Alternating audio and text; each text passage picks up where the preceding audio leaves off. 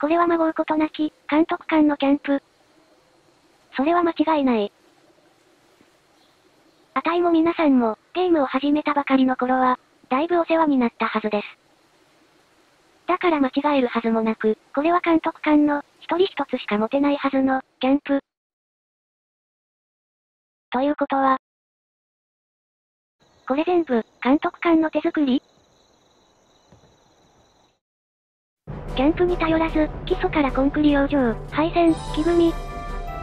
それらすべてを、この修羅場きは丸第一アパラチアにて、単独でやり遂げたのは、まさしく我らが、監督官。前々からすごい人だとは思ってましたが、これほどとは。さすが、化け物揃いと言われるボルト76の、ヘッドを務め上げただけはありますなあと、あたいが思っていた以上に、監督官がおばあちゃんおばあちゃんしてました。しかし監督官としての気品と、アパラチアを生き抜くワイルドさを、兼ね揃えた素敵なおばあちゃんです。こんなおばあちゃんが一人で、土木作業をやっているところを、想像すると、ちょっと可愛い。で、そんな監督官に言われて、新人たちの元へとやってきた、忠実なしもべ1号、元石木島。つうか、入り口からしてカルチャーショックというか、ジェネレーションショックというか、マジで居住地って感じになってますな。はいー、すっごい。あの寂しさ100%みたいな場所が、一転して工具と作業音なり渡る、活気ある場所になっちってさ。こりゃあ、ワクワクせざるを得ない、せざるを得ないこれは後で気がついたのですが、ここでの住人同士の会話のパターンってかなり豊富なんですね。特に店番のサニーと客の会話が楽しくて好き。また、デイリークエストも新たに追加されたようで、レジェンダリーハンターとして、少々の入手先が増えたことにも喜びを禁じ得ませんね。なんていうか、実際にゲームをプレイしていて、この辺りで、大型アップデートを、ようやく実感し始めました。すごいな、ウエストランダーズ。そういう重要装置には追跡を発しして、このファウンデーションのリーダー的存在の、ペイジさんと会いまして、スコーチ病予防のためのワクチン接種のご協力を受け入れてもらいました。あと、なんか地下でキャンプに召喚できるおじいちゃんを拾いました。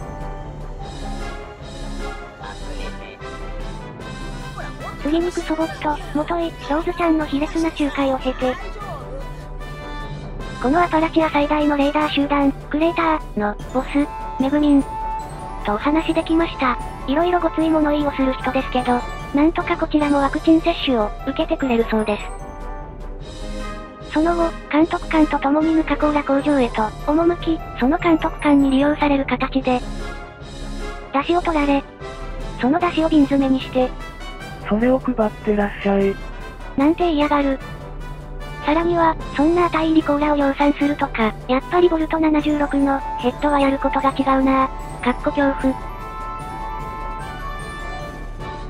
して、ここで初めてクレーターへとやってまいりました。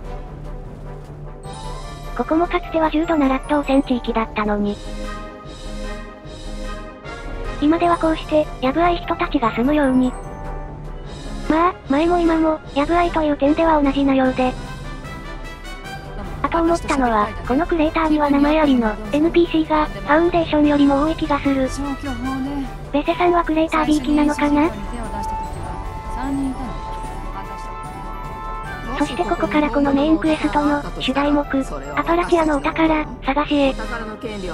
ボルト79にある大量の金を手に入れるため、どうしようかとその手段を探して、ある時は、人を探して洞窟に潜り、またある時は、勝手に他人の家を、機械のお友達との待ち合わせ場所にしたりしました。その合間にも、変化したアパラチアを見て回りもしてます。まずは新しいパブリックイベント。Radiation Rumble. ですが、なかなかに難しいイベントですね。大量のフェラルからの防衛と、大量の鉱石を集めるという作業を、同時にこなす内容である以上、最高の報酬レベルを目指すなら、参加人数がある程度揃わないと、難しいイベントです。この、Radiation Rumble. は、また新実装されたばかりの、イベントということもあり、値を含めてこの、Radiation Rumble. に慣れていない人も多く、なかなかうまくいきません。ゲーム自体を始めたばかりの人も、多いですし。その上で報酬も特に、美味しくないというわけで、もう少しイベントとしての調整が、必要だと思われます。この、Radiation Rumble. は。あと、気がつけば値のキャンプの近くに、違法建築物かっこ台、が建てられてやがりましたので、ご挨拶ファイヤー。まったく、値に挨拶のあの字もなく、勝手に庭先にでかい物置を、こさえやがって。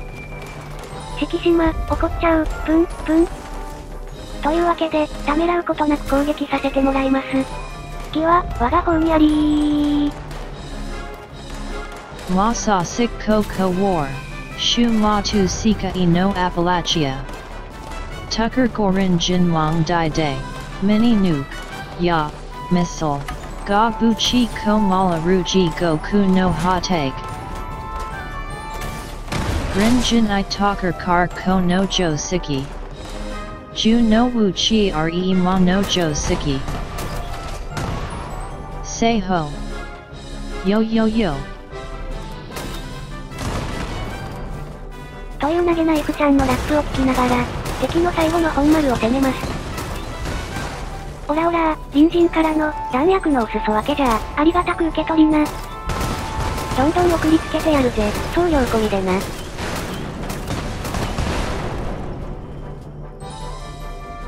こうして隣人はいなくなり、クランベリー出現における隣人問題は解決されたのでした。めでてー、めでてー。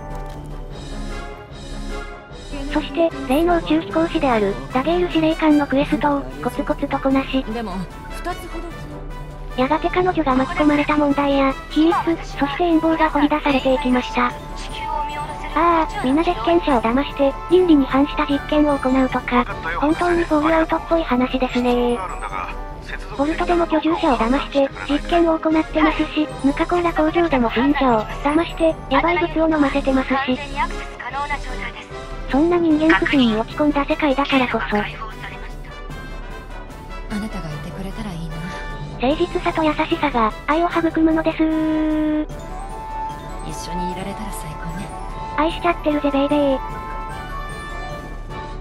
でもって、そんなハニーの文字通りな、頭痛の種、に、蹴りを入れるため、シュガーローブに突入。そして最深部にいたのは、人の脳に介入する邪悪な機械かと、思いきや、アテナという、結構気の毒なメカ外識。そして自分の終了を、願うアテナと、終了をためらうソフィア。あとなんか中途半端な立ち位置の、エマソン。そんな3人が葛藤しているこの状況ですが。よかったな、みんな。ラックが15を余裕で突破している、あたいがここにいてさ。何が起きるかわからんけれど。まあいいや、ポチッとな。プロトコルオメガ X15 を実行中。お、何か始まりましたリ。セット中被験者リセット。既存経路を閉鎖。入力経路をローカルのアサルトロンアルテル12へ戻しました。おん何がどうなってんの？限定的出力が有効化されました。起動あれ、思った以上に変なボタンだったかな？システムに対する限定的制御を許可アクセスを許可あ、あたいは悪くねえ。何が起きてるの制御を検知。確認しました。本ユニットは移動可能です。移動？本ユニットは高度な処理機能を備えていません。本ユニットに痛み受容体はありません。倫理パラメータを評価します。確認しました。あなたが私を解放してくれた。ここから出ることができます。おお、感謝します。あたい、やりましありた。がとうこれは、ボタンがあったら、とりあえず押す、の、精神の勝利です。さらばだ、アテナ。自由な世界へ行ってらっしゃい。そしてアテナとの接続が切れたため、ソフィアの頭痛も良くなったようで、これぞまさしく大団円。こうして、ソフィア・ダゲールのクエストラインを、完走。このクエストライン、最初は簡単なお使いばかりで、あまり楽しくないと思ってましたけど、過去の陰謀をめぐる話の内容は非常に面白かったので、私は満足です。さあ、アテナもソフィアも過去のしがらみから解放されたところで、改めて自由な我がキャンプに帰りましょうか。っていうか、ちょっと待って。あんた、うちのキャンプにいるんかーい。てっきり自由になって、どこかへ旅立ったのだと思ってましたけど。まさかうちにいるとは。あ、早くも商売までしてるし。これはあれか、自立行動型のメカとして、一人で歩けるようになっただけでなく、生活面でも自立してるっていう。お後がよろしいようで。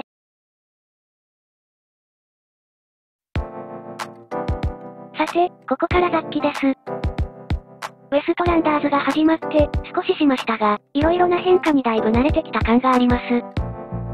前回の雑記で、高レベルの人が消えたと書きましたが、その代わりにレベルが1桁か、2桁の人が増えました。私ははじめ、彼らはかつての高レベルの人の、第2第3のサブキャラだろうと、思ってましたが、彼らのゲーム内でのプレイや、SNS などを見るに、以外にも新規の人が多いようで、喜ばしい限りです。このゲームはバトロワを除きますが、他のプレイヤーと何かを競うようなゲームではないので、ゆっくりとまったりと楽しんでもらえたらなと、感じます。あと私として困った変化として、レールライフルのクリバッツの仕様変更があります。レールライフルに許されていたクリバッツが難しくなりました。完全にできないというわけではなさそうですが。そのためスコーチビーストへの対処が面倒になりました。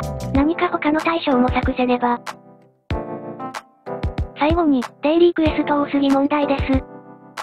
問題といっても、嬉しい悲鳴に近いものですが、デイリークエストが本当に多いですね。以前はバグなのか仕様だったのか、めったに発生しないデイリーがたくさんありましたが、今ではほぼ全てのデイリーが発生するため、画面の右側が偉いことになってしまいます。私のプレイ時間ではとても、毎日全てを回ることができないので、いくつかは諦めざるを得ません。ああ、少々が。というわけで、以上がウエストランダーズ第2回目の動画でした。よろしければチャンネル登録、高評価をお願いします。それでは、終わり。